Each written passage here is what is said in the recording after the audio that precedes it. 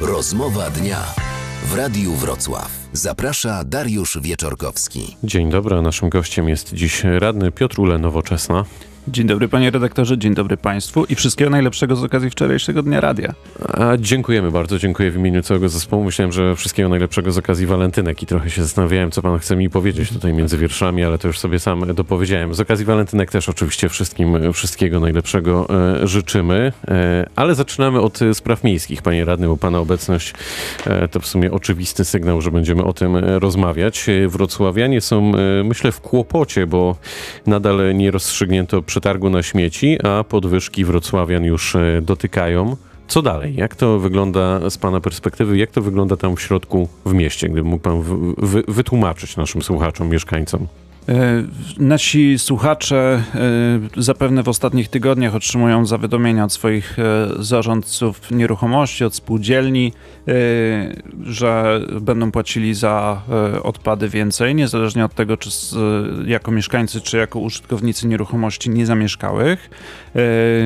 W przypadku osób fizycznych ta cena idzie pod korek, e, czyli mieszkańcy zapłacą 21 zł 42 grosze od osoby za zagospodarowanie odpadów. Więcej po prostu ustawa nie przewiduje, więcej się nie da. E, Przedsiębiorcy z kolei będą płacili nawet trzykrotnie więcej niż było to e, wcześniej. E, Dla rodzin dwu, trzy, czteroosobowych te podwyżki to jest e, podwyżka nawet tam do 175% w stosunku do tego, co było wcześniej.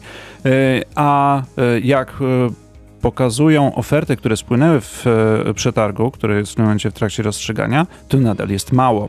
E, Miasto w lipcu ubiegłego roku e, odwołało, e, unieważniło przetarg. Tam e, cena zagospodarowania odpadów wychodziła 400, nieco ponad 400 milionów złotych. E, Unieważniono ten przetarg, żeby zrobić oszczędności, pogorszono e, jakość usług, zmniejszono częstotliwość odboru, e, odbioru odpadów, zmniejszono ilość na przykład odbieranych e, odpadów wielkogabarytowych, żeby wyszło taniej, a wyszło 130 milionów złotych drożej. No i co dalej? To znaczy, jaki miasto ma pomysł? E, Miasto w tym momencie nie przedstawiło konkretnego pomysłu. E, Tą 130-milionową e, dziurę budżetową może zagospodarować w następujący sposób. Albo podnosząc opłaty dla przedsiębiorców, ponieważ dla, czy przedsiębiorców i instytucji, ponieważ dla mieszkańców już więcej się nie da.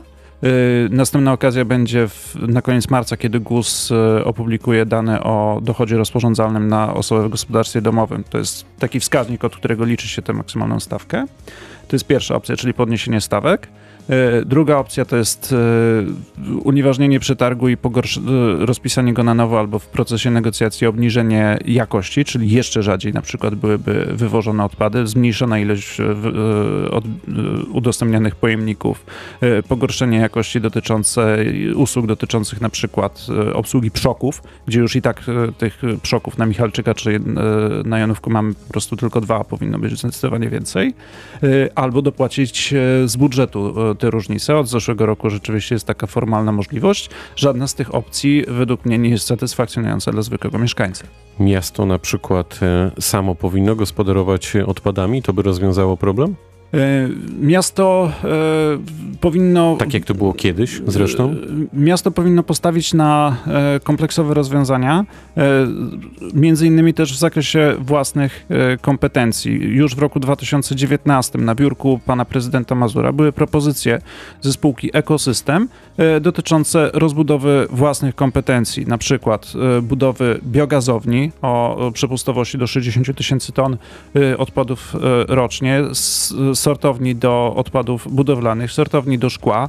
E, Wszystkie te możliwości zostały e, zarzucone, zostały nie podjęte przez e, pana prezydenta i Mazura i, i prezydenta Sutryka. Natomiast w tym momencie słyszymy o tym, że do tych pomysłów się wraca. Szkoda tylko, że te lata zostały po prostu zmarnowane, ale to też pokazuje, jak niewykorzystany został potencjał, a są olbrzymie środki i były olbrzymie środki do dyspozycji, żeby zaangażować przedsiębiorców w aglomeracji, mogliśmy zbudować sobie tak naprawdę niezależność energetyczną, czy zwiększyć naszą niezależność energetyczną poprzez zagospodarowanie tych odpadów. Natomiast przez taki brak myślenia strategicznego e, no, po prostu e, ten czas został, e, został zmarnowany. Kiedy zadamy sobie pytanie, z czym zostaniemy jako wrocławianie po kadencji Jacka Sutryka, no to z nierozwiązanym problemem śmieciowym myślę, że to będzie w czołówce.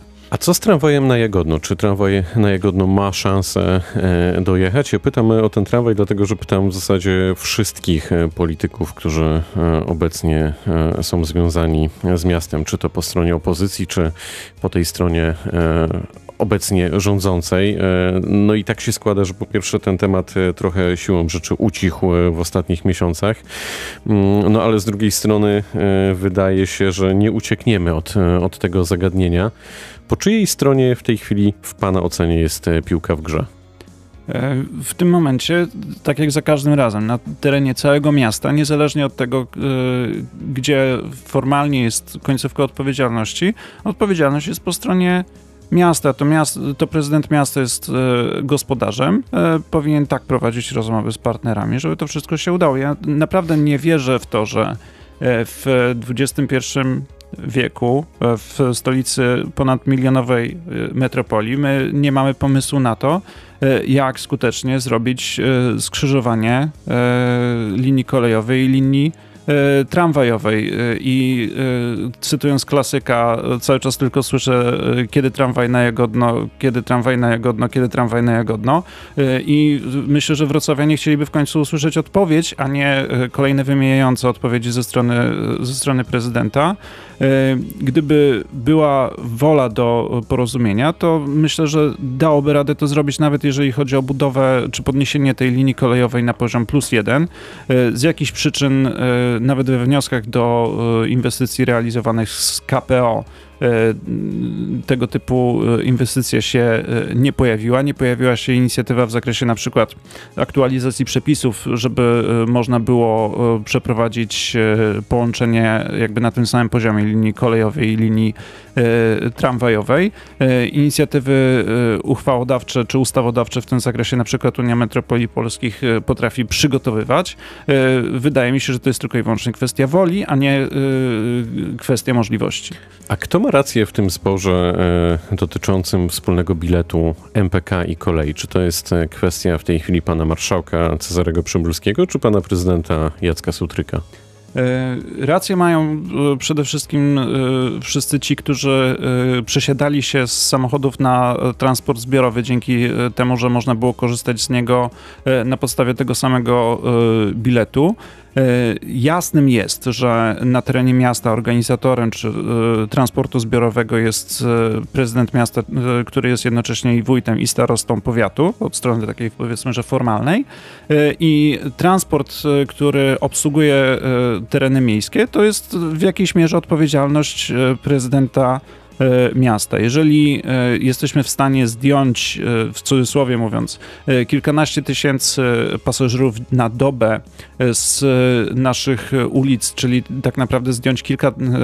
Wyjąć być, samochody, zostawić je... Kilka tysięcy samochodów z naszych na ulic, zostawić je na parkingach i, i, i sprawić, że te korki będą ciut mniejsze, to myślę, że jest to kwestia warta rozważenia i kiedy się spojrzy na to, jakie oferty były przedstawiane na początku początku negocjacji, jakie w sumie dzisiaj są rozpatrywane, to my mówimy cały czas o praktycznie takich samych pieniądzach.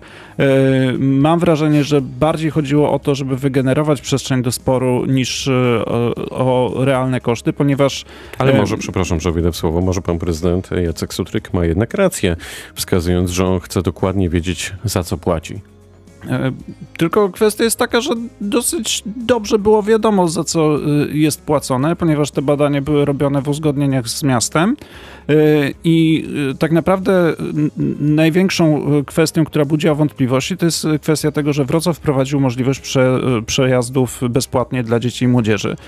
I problem był z policzeniem tych wszystkich osób, ale naprawdę różnica w negocjacjach na poziomie 4-5 milionów złotych rocznie to nie jest różnica, która wa warta była zaorania tak naprawdę systemu wspólnego e, biletu i wrocławianie czy e, dolnoślązacy zagłosowali nogami. Wcześniej kilkanaście tysięcy osób dziennie, e, teraz kilkaset osób miesięcznie.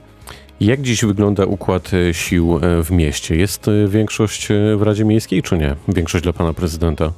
Jest klub pana prezydenta, który w chwili obecnej po powołaniu mm, Bartłomieja Ciężyńskiego na wiceprezydenta Wrocławia ma 17 członków w 37-osobowej radzie. Jest dwóch radnych niezależnych jest e, dziewiątka radnych PiSu, jest ósemka radnych e, Nowej Nadziei. Jak łatwo policzyć, pan prezydent w tym momencie w Radzie Miejskiej Wrocławia nie ma takiej większości, którą mógłby spokojnie dysponować w ramach swojego klubu.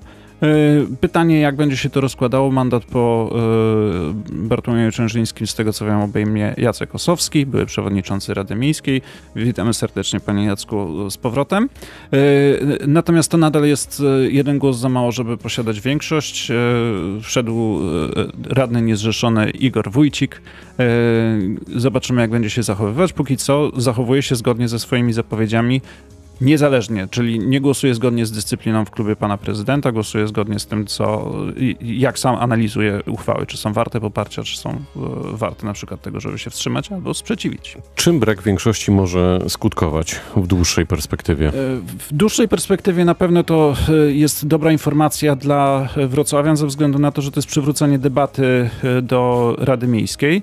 To sprawia, że pan prezydent nie będzie w stanie dyktować bez refleksyjnych decyzji e, Radzie, e, to prawdopodobnie będzie więcej rozmowy nad e, tego typu decyzjami, jak na przykład no właśnie, wspólny bilet na e, autobusy, tramwaje i pociągi na terenie miasta, jak podwyżki e, opłat za śmieci, jak na przykład podwyżki e, opłat za przejazdy transportem zbiorowym, ponieważ o to też był spór. Być może większe poparcie dla takich kwestii wrażliwych społecznie, jak na przykład kwestia toalet w lokalach komunalnych. Nadal kilka tysięcy lokali komunalnych jest niewyposażonych w toalety. W ubiegłym roku nasza uchwała w tym zakresie została odrzucona, być może będzie przestrzeń do tego, żeby wrócić do sprawy. A Rafał Dudkiewicz, jak mówimy o różnych powrotach, wróci do polityki? E, myślę, że to trzeba pytać e, Rafała Dudkiewicza. Pytamy. E, A pan go namawia?